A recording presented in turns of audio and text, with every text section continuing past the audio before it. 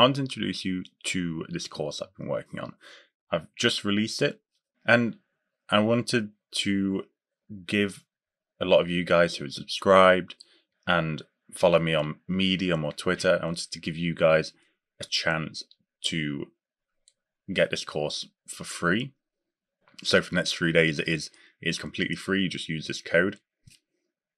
But I just want to talk very quickly about what it actually covers. Now, obviously, you can see from the title, it's NLP and it's with Transformers and Python.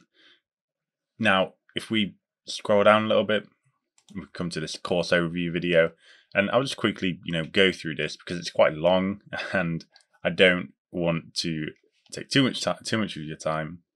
And we, cover a lot of things. So, first thing is NLP and Transformers, where I give a quick summary of NLP in general, the history of NLP leading up to Transformers. then move into a bit of pre-processing for NLP. Now this is just your, your basic stuff.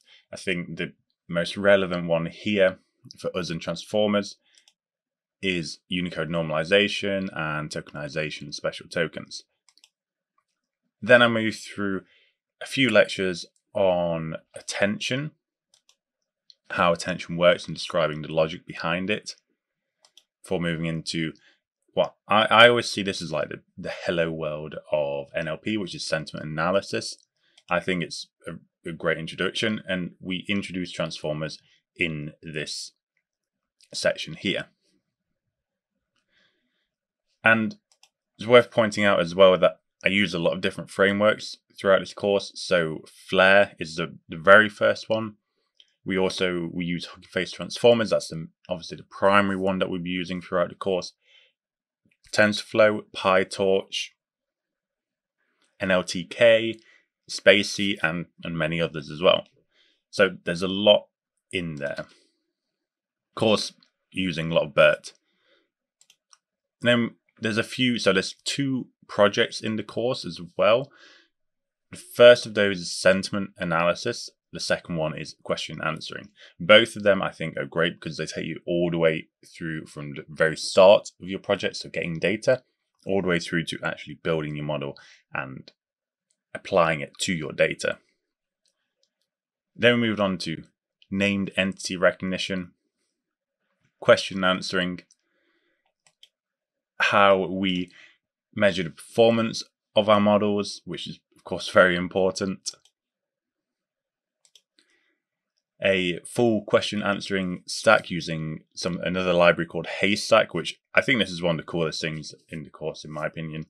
And it just in gen in NLP in general, this sort of stuff is incredibly cool. Then, like I said, there's that second project, the the Q and A project. Before we move on to similarity, now similarity is super important in NLP, and I think probably one of the most promising areas uh, in the future for further research and just impact that it could have on industry. I think this is really a super cool place to be. And then finally, we move on to fine tuning. So that's the course in a nutshell. Altogether, there's 11 hours of content, so it's, I think, comparatively long when you look at other NLP courses. So, you know, we see this 11, 10, 10, 3, and 6. And as far as I'm aware, it's the first course that focuses on Transformers on Udemy.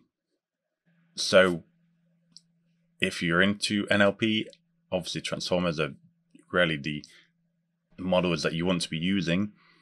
You know, check out the course the next three days. It's completely free using this code. So thank you for watching, and I hope you enjoy the course.